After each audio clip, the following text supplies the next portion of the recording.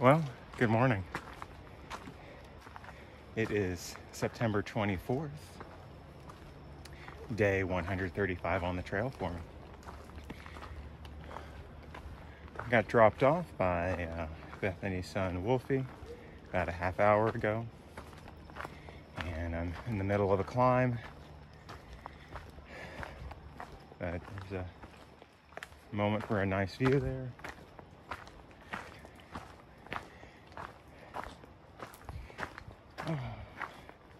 Had a thunderstorm come through back in Johnson City at about four o'clock in the morning. It was short lived, but loud. I don't know if they got any rain here. The trees don't look wet. Ground's a little damp, but that could be from yesterday still. I don't know. But it looks like we're going to have some weather over the next few days. Um, there's a hurricane coming up through the Gulf of Mexico, and you know, we might get some of the outer bands of it as it makes its way north. Well, we'll see. My plan for today is about, I think it's 16.9 miles. And uh, that'll put me at a shelter area lots of climbing today. I think I've got over four, 5,000 feet of uh, ascent. So lots of climbing today. And, uh, not too much descent.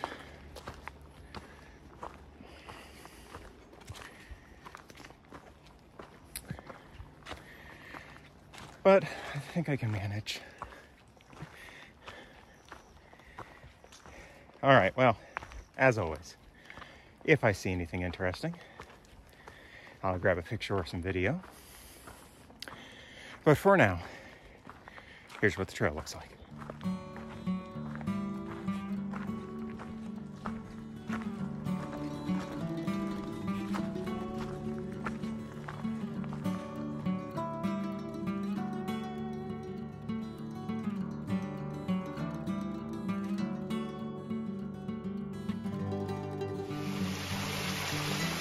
Small waterfall here on the uh, Oglesby Branch. And we have just a, a little pool. And it closed down. And we got a little bridge here to go over the branch.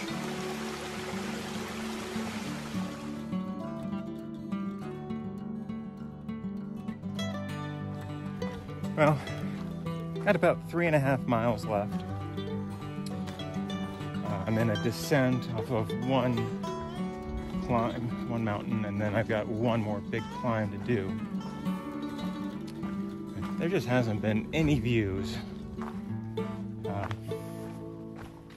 there was supposed to be one up at this the last peak, but I read the comments and had to do a, a, short blue blaze up to the actual view.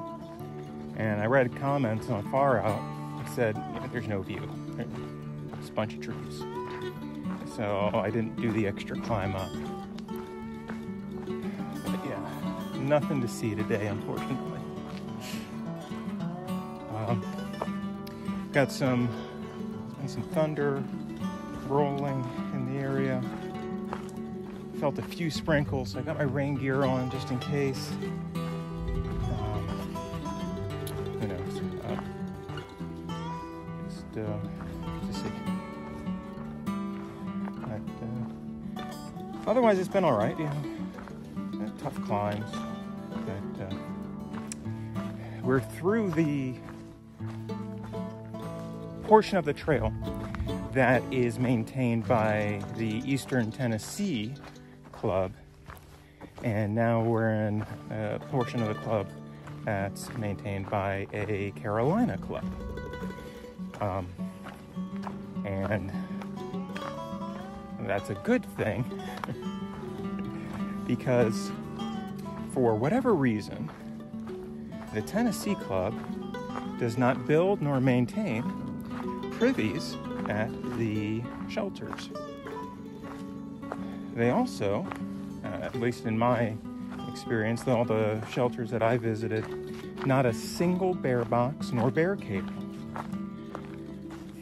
I don't know why. It seems strange to me that they wouldn't do that, but I'm sure it's expensive and difficult to build them. But you know, the best way to you know not have to kill a bear is to not let it get fed and you know sometimes hikers aren't the uh, aren't the best at uh, keeping the food away from the bears but from what I've seen in the shelters I'm planning to use over the next few days, they all have those amenities. So that's a good thing. All right, so, you know, I, I don't know what's going to happen with the weather, but I might not be able to get any pictures or video until I get to the shelter. Uh, we'll see how it goes. Uh, for now, here's what the trail looks like.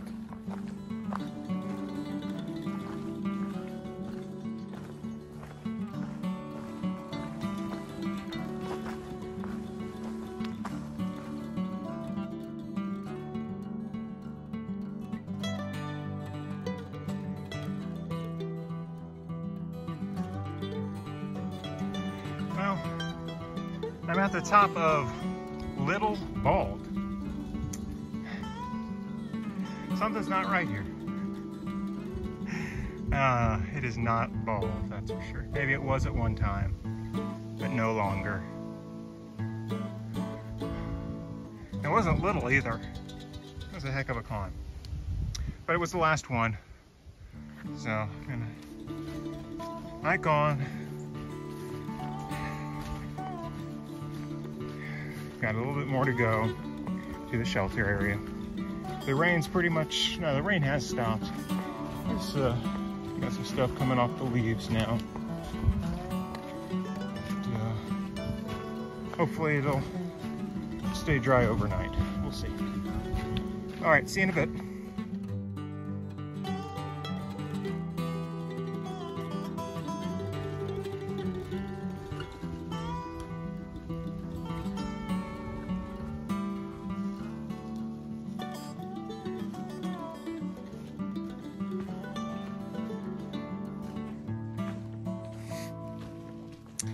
All right, so made it to the Bald Mountain Shelter. Uh, it's a, it's got two stories. Well, sort of. I mean, it's got two levels of bunks. Um, can hold uh, ten people.